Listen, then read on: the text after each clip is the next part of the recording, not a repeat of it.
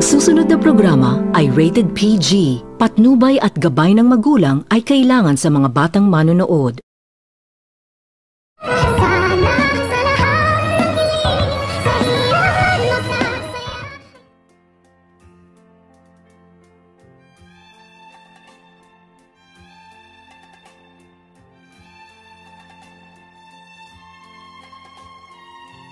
Labis-labis itong nasasaktan itong si Annalyn sa kanyang nakikita na nasa kulungan ang kanyang ina na itong si Lynette pagkatapos nitong ginawa ni Annalyn ang lahat-lahat. Na iligtas ang buhay ng kanyang ina na itong si Lynette pagkatapos sa mga hindi inaasahang pangyayari na nagsasagutan itong dalawa. Tamaan ng loob itong dalawa dahil sa baril na nakita ni Annalyn at sinabihan nito ni Annalyn ang kanyang ina kung bakit umano ito mayroong baril at dito. Agad naman din itong sinagot ni Lynette ang kanyang anak na bumili umano ng baril itong itong si Lynette upang mayroon umano itong pamproteksyon Dr. Carlos. At dito agad naman din itong sinabihan ni Annalyn ang kanyang ina na ibalik umano ang baril. Ngunit agad naman din itong sinagot ni Lynette ang kanyang anak na hindi umano nito ibabalik ni Lynette ang baril dahil kakailanganin umano nito ni Lynette upang maproteksyonan umano nito ni Lynette ang kanyang anak. Kung kaya agad naman din itong kinuha ni Annalyn ang baril at nag-aagawan itong dalawa at hindi nito sukat akalain ni Annalyn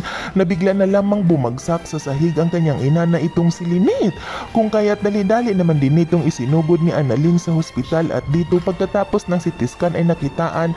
na itong si Lynette ay kailangang operahan at dito agad naman din itong nakapagdesisyon itong si Annalyn at sinabihan nito ni Annalyn itong si Dr. Ray na siya umano ang kasama na mag-uopera nito at hindi na umano papayag itong si Annalyn na hindi umano nito mailigtas ni Annalyn ang buhay ng kanyang ina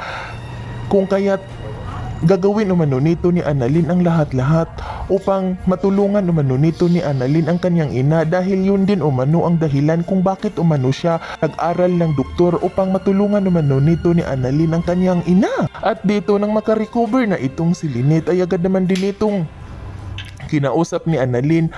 ang kanyang ina. Balik umano ang baril at dito agad naman din itong sinabihan ni Lynette ang kanyang anak na huwag umano itong mag-alala dahil ibabalik na umano nito ni Lynette ang baril kapag makauwi na umano sila sa kanilang pamamahay kung kaya't naging panatag naman din ang loob ni Annalyn dahil ang buong akala nito ni Annalyn na ibabalik na ng kanyang ina